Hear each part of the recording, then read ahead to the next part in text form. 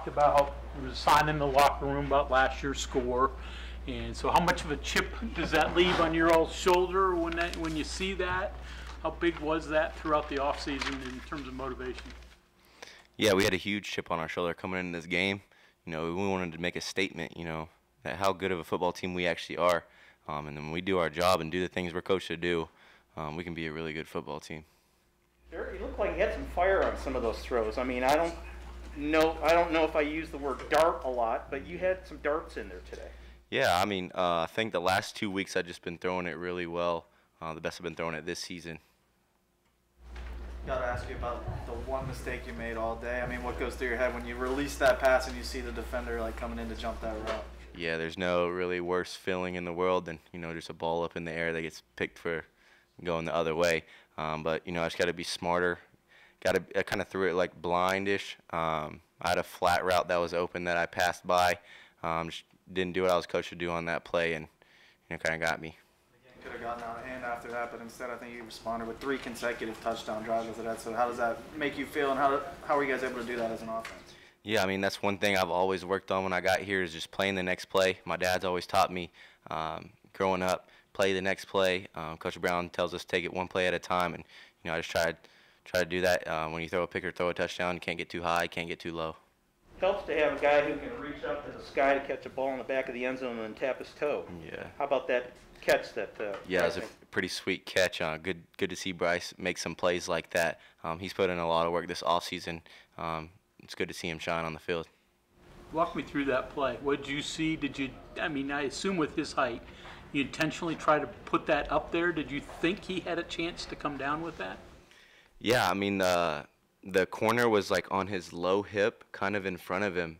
So I kind of just let it in the back of the end zone where Bryce could get it or no one could get it. And you know he really made a great catch to get his toe down. Um, it's pretty awesome. Jarret, when y'all huddled on the field after getting off the bus and the Mantrip, uh, somebody, I think it was you, said this game is going to be four quarters. We've got to keep playing no matter what.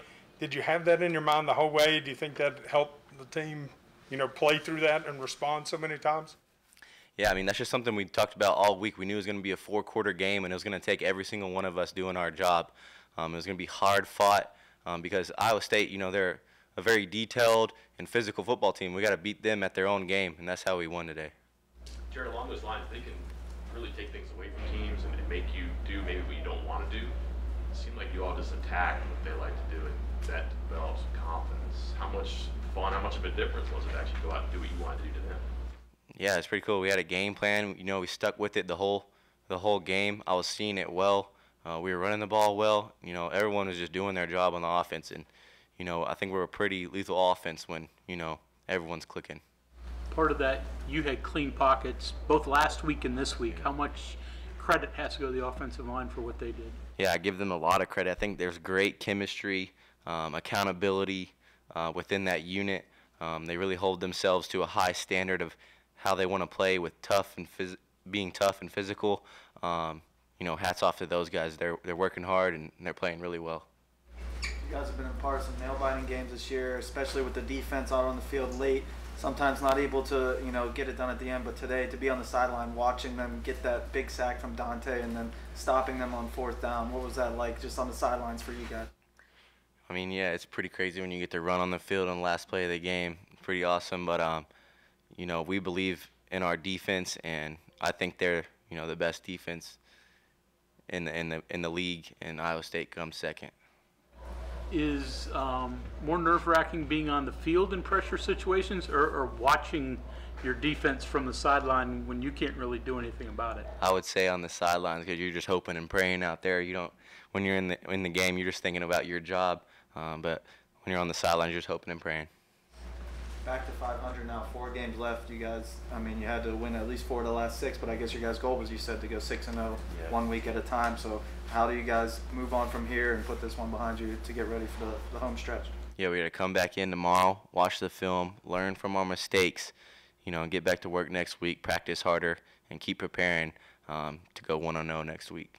Jerry, you said you, you tune out the noise, but just how good has the last two weeks gone? Really good. I'm in a great state of mind. I'm confident right now uh, in what I'm doing. Um, I know my teammates believe in me, and I believe in them. and my coaches believe in me, and that's all I can ask for. Um, doesn't really matter what goes out goes out uh, happens outside this building. Um, as long as these guys believe in me, um, I'll continue to to uh, prepare and work hard. Okay, anything else for Jarret? All right, thank you very much.